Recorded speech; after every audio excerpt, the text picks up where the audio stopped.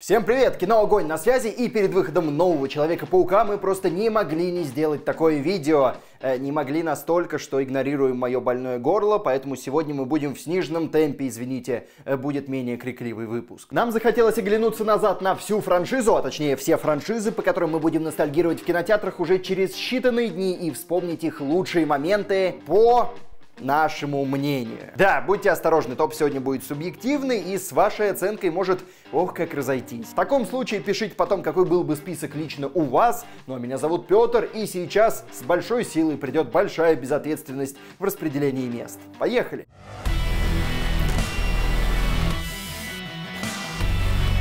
Петь, срочно, там какая-то дичь. Чего такое? Идем, идем, идем, идем.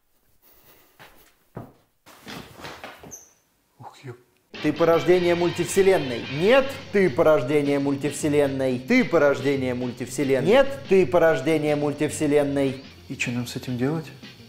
Короче, есть такой план. Мы изучим всю доступную по мультивселенной информацию с опытным гидом Кадзе Крэпом, натренируем знания в квизах, поборемся за полезные призы, окунемся в историю с Кьюбайтом и поймем, что делать с паучьими багами.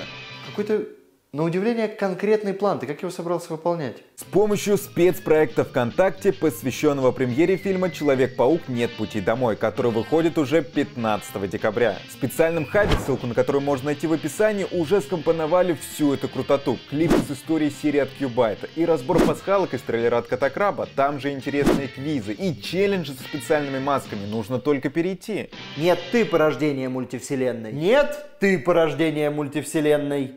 Ладно, давай пробежимся по этому всему. А, а, так, статус выставляю шестируки. О, вот это реально тема. Все, супер, теперь мы знаем все, осталось только нажать вот сюда.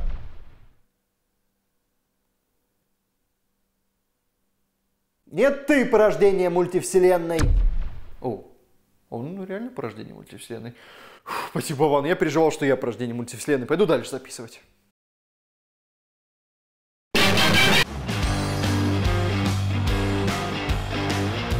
Открывает топ первая битва Эндрю Гарфилда с Электро из не самого любимого зрителями паучьего фильма высокого напряжения. Но на самом деле, если мы отмотаем время назад в прошлое, то станет понятно, что к этому моменту фильма он еще внушал большие надежды. Его открывала, вероятно, лучшая пролетка паука по городу, визуал захватывал, отношения Паркера и Стейси продолжали высекать искру, а Электро в исполнении Фокса только появился в своем итоговом обличье. И да, фильм не то чтобы эффективно его раскрывает к этому моменту, пару важных сцен создателям пришлось выкинуть из-за того, что они захотели вставить слишком много другого в фильм, а с ними бы последовавшая внезапная ненависть к пауку смотрелась бы логичнее, но, тем не менее, эпизод мощен по всем фронтам сразу. Например, тут есть неплохое раскрытие злодея. Он по-детски рад, что его заметили, вероятно, его главный комплекс, который оправдывает дальнейшее злодейство. Он боится полицейских и не сознает своей силы, хорошо относится к пауку, но затем чувствует себя обманутым, а паук перехватывает его минуту славы, вспышку ненависти и назревшее противостояние именно это и оправдывает. Причем, надо сказать, что вины паука как дипломата в этом нет, потому что он в этом хорош, и это хорошо раскрывает и его тоже. Он помнит имя случайно спасенного чувака, эффективно идет на контакт без кулаков, но нервный снайпер руинит всю катку и переводит сцену в ее главную, самую эффектную часть. Электро начинает токовую атаку, и это выводит из строя паутиномет героя. Всего с одним ему предстоит спасти людей и от летящей машины, и от смертельного разряда. Ультра slow-mo блестяще заявляет ситуацию, и выходит из нее паук эффектным и действенным способом. Вообще, визуально, мне кажется, это одна из самых красивых сцен во всех фильмах серии. Ночной светящийся экранами Таймс-сквер, сине-оранжевые молнии электро, ощущающийся масштаб с большой массовкой и пространством, классная операторская работа, когда электро обретает полную силу и замыкает все вокруг, это вообще отвал всего. И да, отдельного внимания заслуживает саундтрек, потому что он идеально подобран для конкретного злодея, он отражает его суть все время в фильме, даже когда его там нет, и это показывает, насколько создатели старались. Восьмиминутная композиция My Enemy одна из лютейших коллаб, которые вы только можете услышать. Внутри замешана и лютая электрика с дабстепом, ведь у нас тут электро, и классический симфонический циммер на паучьих моментах, и бредовый нагоняющий напряжение шепот, который дает ощутить происходящий в голове злодея хаос. Нет, я хочу помочь, но и ты мне помоги.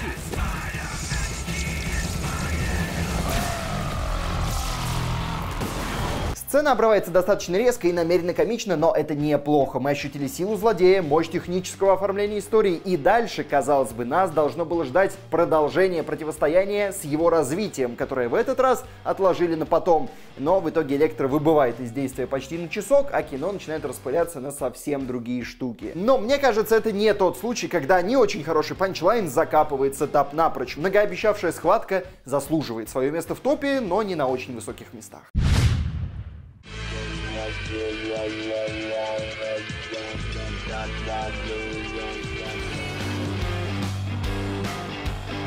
Девятое место, и Гарфилд нас пока не отпускает. Теперь выписываем респекты первому фильму с ним, а точнее его гениальному финалу. Попавший в передрягу с копами, Человек-паук ловит маслину в ногу. И вообще нью-йоркской полиции к этому моменту, если честно, пора отказаться от снайперов. Они что-то совсем не помогают раз за разом. Между тем, Ящер уже близок к исполнению своего страшного плана на высотке Аскорпа. И до нее пауку с травмой добираться ох, как долго и сложно но на помощь приходят городские. И вообще это классный, но распространенный для Паука момент. Такое было дважды и у Магуайра, и оба раза эффектно, но тут момент все равно удается запоминающимся за счет очеловечивания. Помочь Пауку решается конкретный человек, близкого которого герой когда-то спас. За свои добрые дела персонаж получает доброе дело в ответ. Это круто. Строители кооперируются и выставляют краны вдоль всей улицы, создают кратчайшую дорогу к месту финальной битвы, пока остальные жители в ужасе эвакуируются. И это и храбрость людей, и очень трогательный момент для героя, и для зрителя тоже. И это классное зрелище. Причем еще приятно, что есть докрученный поворот. Даже несмотря на это, паук не допрыгивает до первого крана, что показывает, насколько ему тяжело. Но и тут его спасают все те же парни и девчонки. И летит он под уникальный, хотя и не самый любимый мной саундтрек. И так он прибывает на финальную битву, но эта сцена с кранами, идущая еще до гранд-финала, все равно эмоциональный пик истории.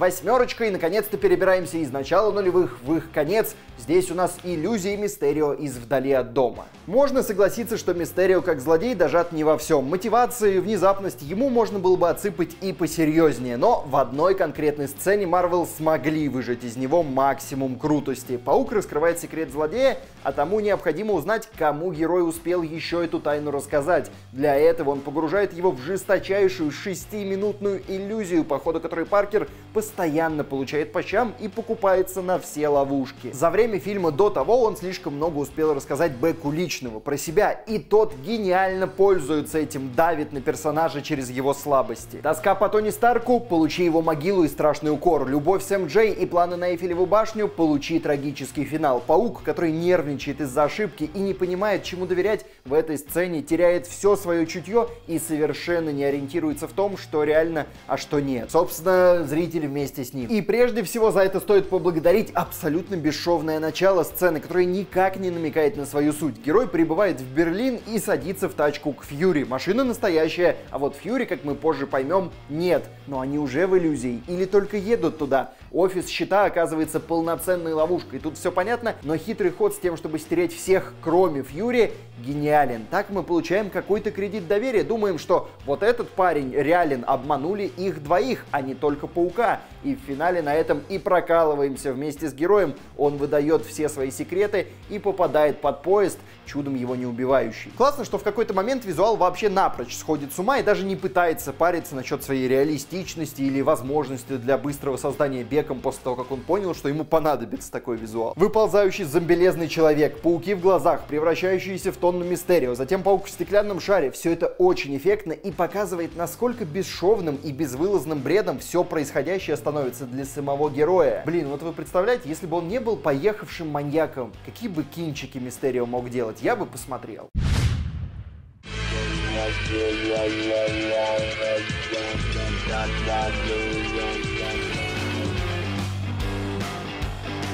Семерка, и здесь наконец-то идем к классике. Финальная битва Паука и Гоблинов в первом фильме с Магуайром. Начинается она на самом деле чуть раньше, еще до схватки раз на раз в доме. На мосту Гоблин ставит героя перед выбором спасти возлюбленную или полную кабину детей. И это супер эффектно. Тут и напрочь отлетевший злодей во всей красе, и невероятные ставки для героя, и даже вот этот гениальный кадр, который абсолютно сломанный физически, но кому не плевать. Не то чтобы к этой сцене нет вопросов. Конечно, графика местами уже подостлела до совсем смешной, и Гоблин, если честно, мог бы поэффективнее убивать Питера, пока тот висит, пытаясь удержать все и сразу, но с другой стороны, зато Паука спасают простые жители, как это можно не любить. И лишь затем, только когда он наполучал от всей пробки, которую сам и организовал, Гоблин переводит все в финальную схватку один на один. И это сражение тоже очень крутое, в тишине, в идеально мрачной локации. Гоблин не оставляет от Паука камня на камне, разрывает ему маску бомбой, без конца избивает, и кажется, что у героя никаких шансов шансов на спасение, но классное раскрытие, неудачно упомянув, что близким Паркера потом тоже не сдобровать,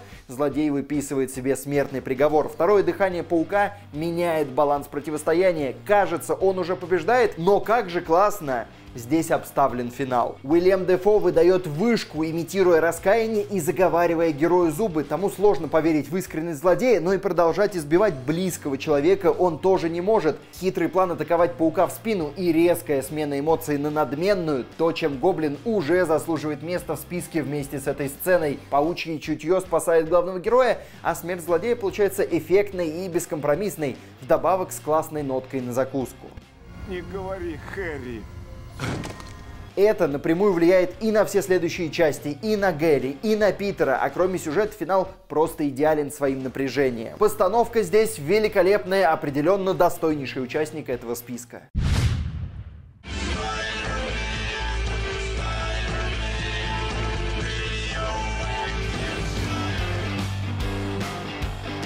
Шестерка, и здесь тот фильм, про который вы могли подзабыть, но мы все-таки брали все кинотеатральные релизы про Паука, поэтому через вселенные тоже подходят. И, конечно, там много моментов, заслуживающих комплиментов, но мы хотели выбрать какой-нибудь один ультимативный, так что не финал и не нарезки Пауков, здесь становление Майлза Моралеса. Это ключевой момент фильма, потому что все кино на самом деле именно об этом, о давлении и о реализации способностей. Откровенно перегоревшего Майлза приводит в чувство теплая речь отца, и он с собирается силами, чтобы помочь друзьям в финальном бою, но перед ним идет этот кусочек, целиком положенный на идеально подходящий WhatsApp Danger. И это действительно пик. Во-первых, костюм. Майлз решается взять костюм и оборудование у тети Мэй, но он уже обрел себя, и потому ему не подойдет чужая айдентика. С помощью своего таланта герой быстро создает свой уникальный стиль, который выделяется среди других и делает узнаваемым именно его. В новом костюме под нарезки мотивирующих цитат он выходит на главную проверку. Прыжок веры, то, на что он не мог решиться раньше. И вот этот прыжок золото. С идеальным музыкальным сопровождением кино выдает свой самый мотивирующий и самый красивый фрагмент. Отрывающееся стекло, ночной город, огни. Все это лишь разогрев перед каноничным кадром с перевернутым Нью-Йорком. До этого было уже шесть фильмов про пауков в этом веке. И там были эффектные пролетки, но до такого не додумался никто. В этом кадре чистая свобода персонажа, его уникальность и вся дальнейшая прогулка по городу на всех уровнях это лишь добивает. Майлз получает кайф от сил, чего с ним раньше не бывало. Он чувствует уверенность и обретение себя символично завершает появление его личного комикса. И, возможно, это самая мотивирующая сцена из всех пауков вообще.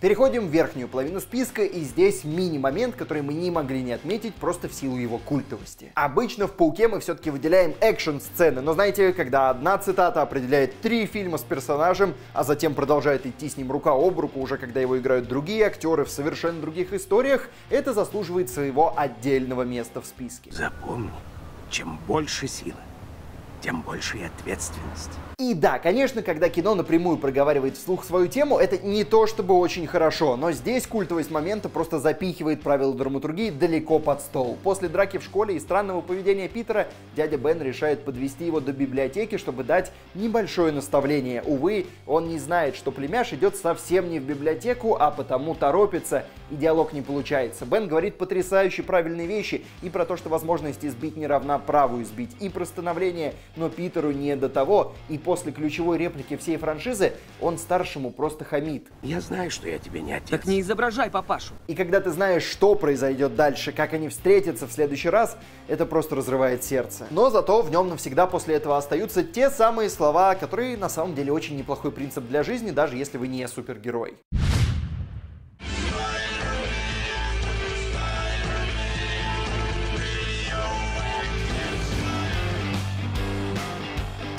В шаге от призовой тройки мы приземляем, вероятно, лучший момент холландовской франшизы, ну, по нашему мнению, во всяком случае, точно, диалог в машине, возвращение домой. Питер наконец-то планирует заняться человеческими делами, сгонять на бал с любимой девушкой, но тут выясняется, что ее отец суперзлодей, с которым они ведут обоюдоострую охоту. Твист мощнейший, хоть и жаль, что на него ничего не намекало, но когда он происходит, ситуация меняется бесповоротно, пока лишь для Паркера стервятник Китон ничего не подозревает. Но затем, когда герои покидают квартиру, идут в машину, ситуация начинает разворачиваться все в более и более плохую сторону, и это образцовый триллер. Никаких суперкостюмов, никакого экшена, только три человека в машине, огни, фары, светофоров и отличная драматургия. Стервятник — гений преступного мира, он первый, кто узнает Питера по голосу. Сперва он лишь начинает догадываться, что парень выглядит как-то знакомо или звучит как-то знакомо. А нервничающий Питер откровенно вызывает подозрение, его хилые отмазки только ухудшают ситуацию, но самой шальной картой выступает Лиз. Девушка не в курсе происходящего, а потому раз за разом подсвечивает улики в биографии Паркера. То он стажируется у Старка и знаком с Пауком, то его толком не было на вечеринке, во время которой происходила разборка стервятника с Пауком.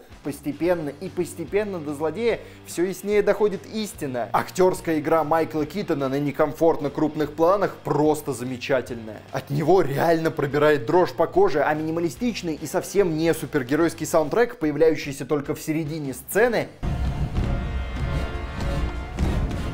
добавляет реально триллерового напряжения. Ну и финал сцены, когда герой злодея остаются в машине наедине. Злодей показывает себя со всех сторон, мгновенно угрожает Паркеру смертью его и всех близких, но при этом не убивает сразу, ведь тот спас жизнь его дочери, а семья важнее. Конечно, потом еще есть финальная битва этих же персонажей, но вот это противостояние по ощущению гораздо эффектнее и мощнее, чем все сиджайные драки. Пиковый момент фильмов с Холландом. Хотя сейчас у меня есть ощущение, что высоковато он забрался, но не будем о грустном.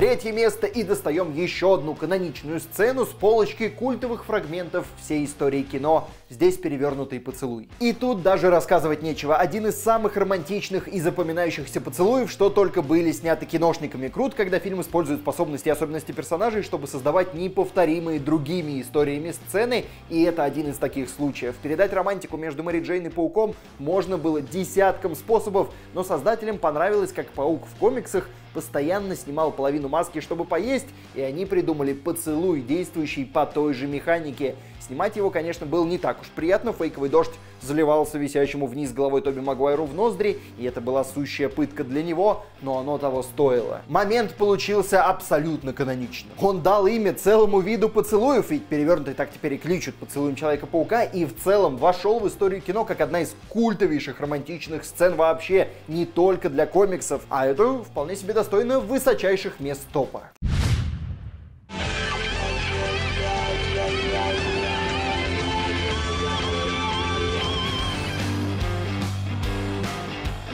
Второе место, и от счастливой романтики Магуайра переходим к трагедии Гарфилда. Здесь смерть Гвен Стейси. Какие бы проблемы ни испытывала средняя дилогия, как бы эти фильмы не разваливались от количества взятой ноши, отдельные сцены из них затмевают многое из того, что было и у Тоби, и у Тома, а такого у них и вовсе не было. Канон по комиксу, главная трагедия жизни Человека-паука, Она, конечно, просматривалась, раз путь героя начали со знакомства с Гвен, а не с Мэри Джейн, но вы знаете, эти киношники всегда найдут способ ввести happy end. Ну и что, что на ней каноничный наряд из комикса, где она погибала? Ну и что, что тут как раз зеленый гоблин? До последнего веришь, что вот этого не произойдет. Но в этот раз у создателей были яйца, чтобы зрителей ошеломить, и они справились с эпизодом на все сто. Сверхнапряженный поединок паука и гоблина, Гвен, висящая буквально на ниточке, а затем падение в slow-mo, летающие вокруг детали сломанного механизма, отчаянный прыжок паука, паутина, буквально вытягивающаяся в спасительную ладонь и просто запредельно брутальный для пиджишного комикса кадр смерти. Даже если ты знаешь спойлер наперед, один этот звук удара каждый раз просто нокаутирует своей честностью и некомфортностью. Эта сцена во многом работает так хорошо именно из-за того, что отношения Паркера и Гвен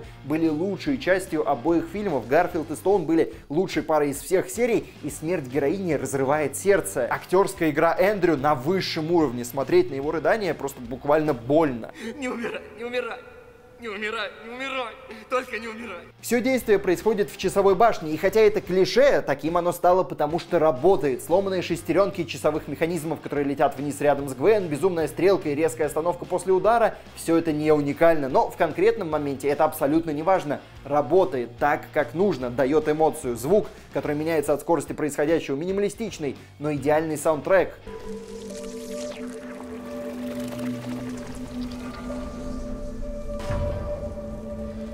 Короче, давайте прекратим, честно говоря. Это реально непривычный паучий эпизод, реально некомфортный, но один из самых сильных во всех фильмах. И его финал, отходящий несколько сезонов подряд Паркер, тоже. И с одной стороны он довольно быстро отходит по хронометражу, с другой стороны это сделано хорошо. Тетя Мэй вытаскивает героя фактически спустя год, и кино находит свой горько-сладкий финал, что оставляет от фильма печальные, но не безысходные ощущения, э, если вам фильм в принципе понравился. Но если нет, то это все равно достойный кандидат на второе место, но не выше, может быть как раз из-за этого, а может быть потому что там слишком сильный соперник.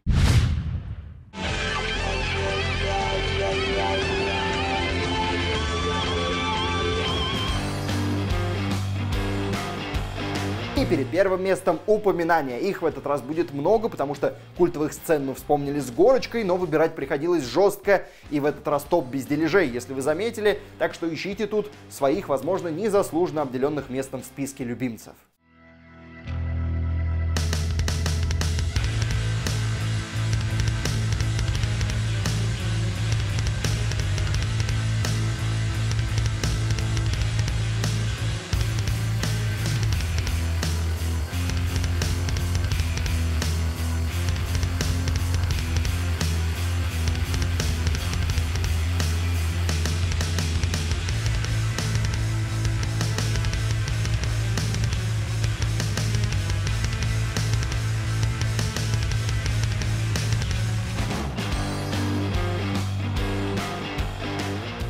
И первое место, но сперва история про первое место, потому что, знаете, когда я составил эту подборку, распределил места в топе, я решил посмотреть, а какие фильмы, какие сцены брали другие блогеры, делавшие подобные аналогичные топы. Я нашел два русскоязычных и с ужасом обнаружил, что на первое место они поставили ту же самую сцену, что и я захотел поставить.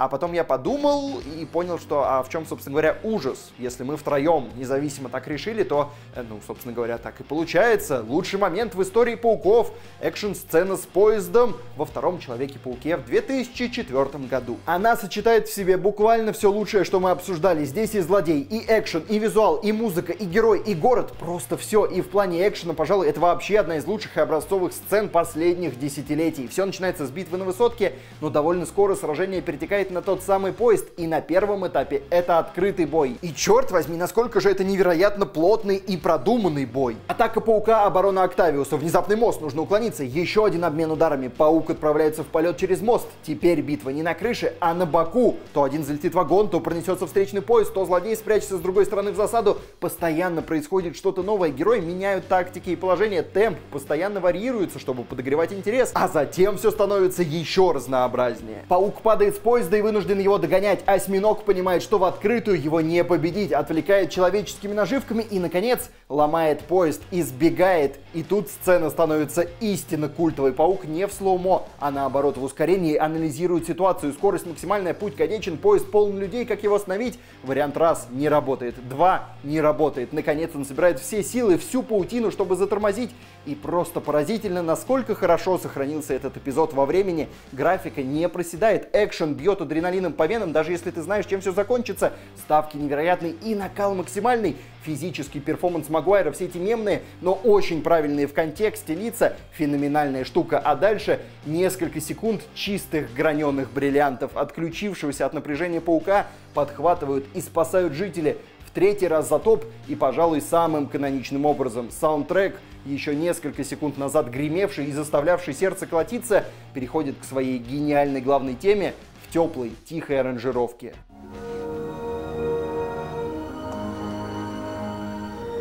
И момент уважения и благодарности от жителей к пауку – это просто что-то, чем можно согревать душу в холодные тяжелые времена. А потом приходит Октавиус и паука забирает, потому что, если вдуматься, в этой схватке он победил. Он придумал тактику, как оставить героя без сил и добился своей цели. В этих нескольких минутах реально есть все. Это настоящая энциклопедия экшена. Это учебник темпа и азбука персонажей от хитрого и сильного злодея до самоотверженного героя. Прошло 17 лет и 6 фильмов, но ничего настолько же мощного серия про паука не создала, и это ей не в укор, это ее достоинство. Чтобы создать экшн-сцену такого калибра, такой действенности и драматургии мало снять хороший фильм. Тут нужна удача и совпадение, чтобы замахнуться на величие. В эти конкретные секунды кино его поймало и зазернило. Наше первое место.